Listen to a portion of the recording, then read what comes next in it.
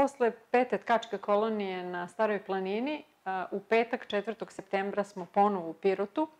Ovog puta organizujemo radionicu na temu ekonomskog osnaživanja i, i društvene afirmacije žena. Želimo da ovom radionicom pružimo priliku ženama da se afirmišu, da se oslobode nekih rodno nametnutih uloga i tereta porodičnih obaveza, da se zauzmu za sebe, da se povežu i da sebi stvore bolje prilike za neki profesionalni razvoj i za prilike za zaposlenje. Zbog toga smo na ovu radionicu pozvali pre svega predstavnike javne uprave, ustanova socijalne zaštite, kulture, ali i predstavnike civilnog društva i ono što je E, suština rada etno mreže, lokalna zanatska udruženja sa ciljem da e, na ovoj radionici sa njima razgovaramo o ovim temama, pomognemo im da se povežu i osnaže